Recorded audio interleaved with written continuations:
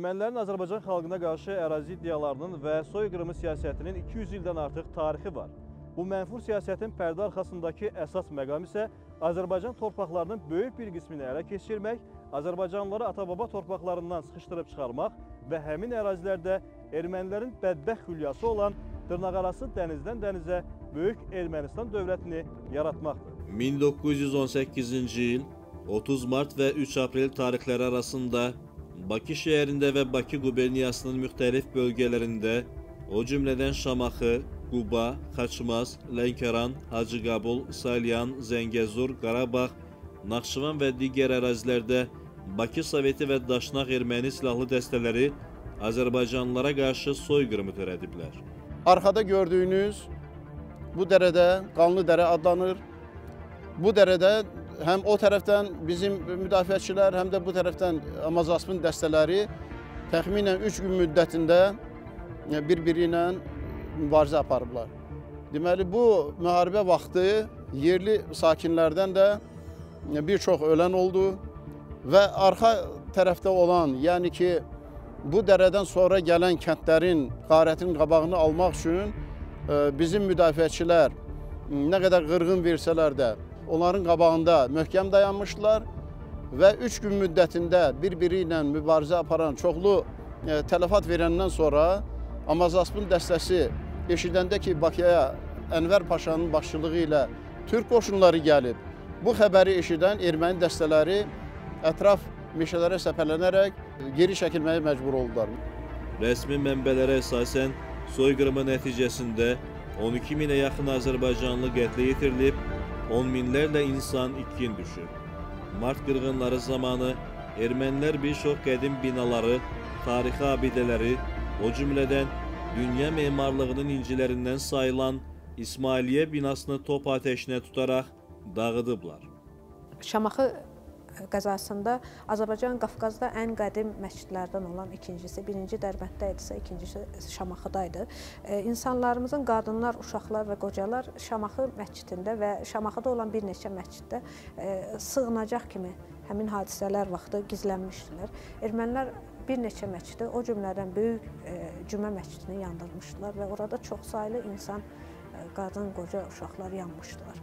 Və bildirdiyimiz kimi bu Şamaxı məscidi həm həmin foto şəkillərdə əksini tapır, eyni zamanda da 2009-cu ildə cənab prezident müvafiq sərəncam vermişdi və bu sərəncamdan sonra Şamaxı Cümə məscidi bərpa edilmişdi və ibadət yeri kimi fəaliyyətini davam etməkdədir. Eyni zamanda Şamaxıda Bakıda siz bilirsiniz ki, Bakıda bizim mühüm binalarımız Bibi Heybət və eyni zamanda Şirvanşahlar sarayında bir neçə dağıntılar, Açıq Söz qəzetinin mətbəəsi və bir çox yerlər yandırılmışdı. Ermənilər tərəfindən pulemyotlarla vurularaq dağıdılmışdı və bunlar hamısı tarixi sənədlərdə öz əksini tapıb.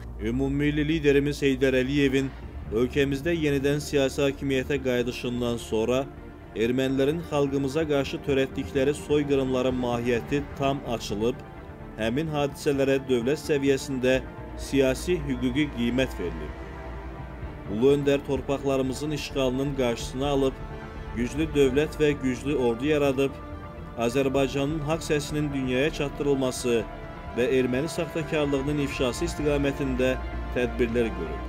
Dahi liderin Azərbaycanlıların soyqırımı haqqında 1998-ci il 26 mart tarixli fərmanında ermənilərin Azərbaycanlılara qarşı etnik təmizləmə və soyqırımı siyasəti dərindən təhlil olunub, 31 martın Azərbaycanlıların soyqırımı günü kimi qeyd olunması qərara alınıb. Aparılan araşdırmalar nəticəsində 1918-ci il hadisələri zamanı ermənilərin törətdikləri kütləvi insan qətillərini ortaya çıxaran faktlar, saysız hesabsız insan sümükləri və digər maddi sübutlar aşkarlanıb. Bildiyiniz kimi soyqırımı hadisələrinin tanınmasından ötəri bütün faktlar burada mövcuddur. Belə ki, kütləvi məzarlıq 2007-ci ildə Qubanın e, stadion adlı ərazisi hazırda olduğumuz məkanda kinti işləri aparılarkən təsadüf nəticəsində quyular aşkarlandı. Eyni zamanda orada bir vəhşətin baş verdiyi, insanların hələ öldürülməmişdən qabaq küt alətlərlə incidildiyi, uşaqlara, qadınlara qarşı baltalarla kəllə sümüklərinə zərbələ, zərbələrin vurulduğu və təsəvvür eləyin ki, bir quyuda 700-dən çox insan qalığı var idi ki, bu insan qalıqlarının birində belə güllə dənəsi tapılmadı və bu da onu göstərirdi ki, bu insanlar kütləvi formada e, küt alətlərlə məhv edilmişdilər. Bu həqiqətlərin dünya ictimaiyyətinə çatdırılması, soyqırımı qurbanlarının xatirəsinin əbədiləşdirilməsi məqsədi ilə Azərbaycan Respublikasının prezidenti cənab İlham Əliyevin müvafiq sərəncamı ilə Quba şəhərində soyqırımı memorial kompleksi yaradılıb. Hər il minlərlə insan bu məkanı ziyarət edərək qətlə yetirilən soydaşlarımızın əziz xatirəsini yad edir. Bu qəhrəmanların şərəfinə Qusar şəhərində böyük bir abidə ucaldılıb.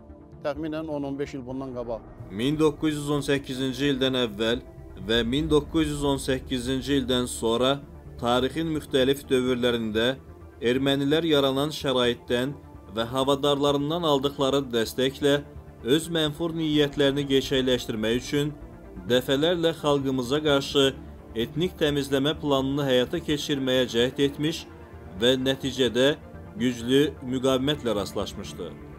Tarixin müxtəlif dövrlərində xalqımıza qarşı törədilən soyqırım aktlarına ən tutarlı cavab isə 2020-ci il sentyabr ayının 27-sində verildi. Ermənistan silahlı qüvvələrinin ölkəmizə növbəti təxribatı Azərbaycan ordusunu əks hücuma keçməyə məcbur etdi.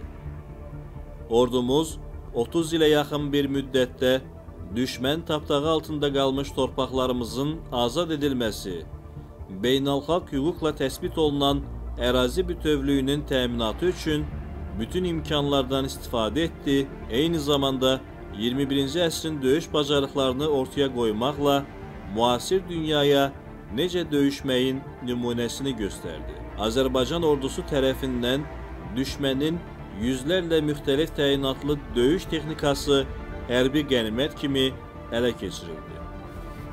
Həmçinin Azərbaycan ordusu 2023-cü il sentyabrın 19-da lokal xarakterli antiterror tədbirlərini 24 saata yaxın bir müddətdə uğurla icra edərək tam və qəti qələbə qazandı. Eyni zamanda xalqımıza qarşı soyqırım aktı törədən ermənilərə və onun havadarlarına unudulmayacaq böyük bir tarixi dərs verdi. Təbii ki, əldə olunan qələbə Azərbaycan əskərinin gücü, onun döyüş hazırlığı Ali Başkomandan Xalq Ordu Birliyindən qaynaqlanmışdır. Əgər Azərbaycan əskəri hərtərəfli döyüş hazırlığına, yüksək vətənpərvərlik ruhuna malik olmasaydı, o zaman əlimizdəki olan müasir silahların da heç bir dəyəri olmayacaqdı. Ermənilərin 200 illik iddialarının boşa çıxması, vətən müharibəsində qazandığımız tarixi qələbə ilə əzəli torpaqlarımızın işğaldan azad olunması haqqın qələbəsidir. Xalqımıza qarşı törədilən soyqırım aktına ən tutarlı cavabdır.